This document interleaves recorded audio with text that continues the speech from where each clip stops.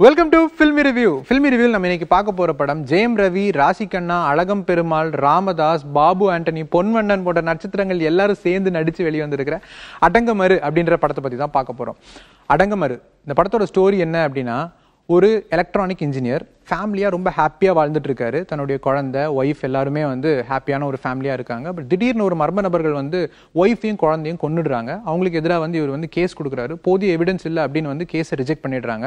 So evidence இருந்தால் தான் வந்து கேஸ் நீங்கள் எடுத்துப்பீங்களா அப்படின்னு சொல்லிட்டு எந்த ஒரு எவிடன்ஸும் இல்லாமல் வந்து பழி வாங்குறது எப்படி அப்படின்றது ரொம்ப அழகாக சொல்லியிருக்கிற படம் தான் லா அபேடிங் சிட்டிசன் ரெண்டாயிரத்தி ஒம்போதில் வந்தது.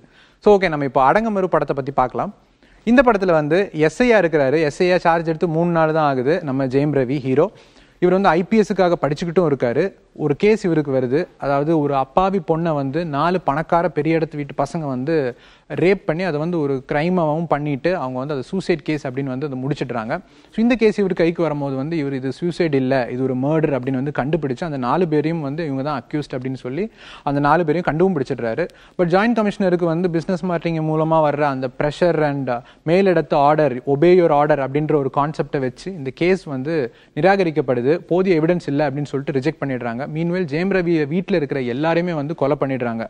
Man who loses everything is capable of anything அப்படின்ற ஒரு கான்செப்டை மட்டும் வச்சு உங்களுக்கு வந்து நீங்கள் எவிடன்ஸ் இருந்தால் தான் இந்த கேஸ் எடுத்துப்பீங்க இல்லையா? எவிடன்ஸ் இல்லாமல் வந்து எப்படி இந்த நாலு பேரை நான் தண்டிக்கிறேன்றதை மட்டும் பாருங்க. அதுவும் அவங்க அப்பா கையாலேயே அவங்க பசங்களை வந்து நான் கொலை பண்ண வைப்பேன் அப்படின்ற ஒரு சபதத்தோட அந்த நாலு பேரையும் கொன்னாரா இல்லையா அப்படின்றத சுவாரஸ்யமாக சொல்லியிருக்கிற ஒரு படம் தான் இந்த அடங்கமறு ஸோ அடங்கமறு படத்துடைய காஸ்டிங்கை ஃபஸ்ட்டு பார்த்துடலாம். ஜெயம் ரவி இவருக்கு வந்து தனி ஒருவனுக்கு அப்புறம் இது ஒரு நல்ல கிரைம் மூவியாக இருக்கும் அப்படின்னு தான் சொல்லணும். Crime thriller crime thriller movie அப்படின்னு சொல்லலாம். அண்ட் uh, இவர் வந்து இவரோட நடிப்பாகட்டும் இல்லை எல்லா சீன்ஸ்லையுமே வந்து எந்த ஒரு குறையும் இல்லாமல் வந்து நடிச்சு கொடுத்துருக்கிறாரு. வாழ்த்துக்கள். அண்ட் ராஷி கண்ணா இமைக்கா நொடிகள் படத்தில் வந்து ஒரு அழுமூஞ்சாவே பார்த்த இவங்க வந்து இதில் வந்து நல்ல ஒரு ஃப்ரெஷ்ஷாக வந்து தெரியுறாங்க. அண்ட் இவங்களுமே வந்து ஒவ்வொரு சாங்ஸ்லையுமே இல்லை எல்லாத்துலேயுமே வந்து கெமிஸ்ட்ரிலையுமே வந்து ரொம்ப நல்லா இருக்குது அண்ட் இவங்களுக்கும் வந்து வாழ்த்துக்கள். நீங்கள் இன்னும் நிறைய படங்கள் பண்ணணும் அப்படின்றது பர்சனலாக என்னோட அபிப்பிராயம். அண்ட் uh, இந்த படத்தில் ராமதாஸ் இருக்காரு. அவரும் வந்து காமெடி இந்த மாதிரி சீன்ஸ் எல்லாத்துலேயுமே வந்து நல்லா ஸ்கோர் பண்ணியிருக்காரு படத்தில் பாபு ஆண்டனியும் இருக்காரு. பாபு ஆண்டனின்றவர் வந்து நம்ம நிறைய பேருக்கு தெரிஞ்சிருக்கும். இவர் ஒரு மலையாள ஆக்டர் இவர் வந்து ஒரு காலத்தில் பயங்கரமான வில்லனா வந்து நம்ம தமிழ் படங்களே வந்து நடிச்சிட்டு இருந்தார். பட் இந்த படத்தில் வந்து ஒரு கிளாசிக் பிஸ்னஸ் மேனான ரோல் வந்து சூப்பராக பண்ணியிருக்காரு அண்ட் படத்தில் பொன்வண்ணனும் இருக்காரு. அவரும் அவரோட பாட்டை சூப்பராக பண்ணியிருக்காரு அழகம் பெருமாள் வந்து ஒரு சப் இன்ஸ்பெக்டராக வராரு. நல்லா பண்ணியிருக்கிறாரு அண்ட் ஜாயின்ட் கமிஷனராக வர்ற சம்பத்தும் அவரோட ரோலை சூப்பராக பண்ணியிருக்காரு ஸோ காஸ்டிங் வைஸ் எந்த ஒரு ப்ராப்ளம் இல்லாமல் நல்ல சாட்டிஸ்ஃபேக்டரியாக இருக்குது இந்த அடங்கமரு ஸோ டைரக்ஷனும் வந்து கார்த்திக் தங்கவேல் அப்படின்ற ஒருத்தர் தான் வந்து இந்த படத்தை டைரக்ட் பண்ணியிருக்காரு. அவருடைய டெபியூ மூவி பட் ஒரு புது படம் அவர் வந்து ஃபர்ஸ்ட் மூவி அப்படின்றது வந்து கண்டிப்பாக இந்த படம் பார்க்கும்போது நம்மளால சொல்ல முடியாது. அவ்வளோ கச்சிதமாக வந்து இந்த படத்தை எடுத்திருக்காரு.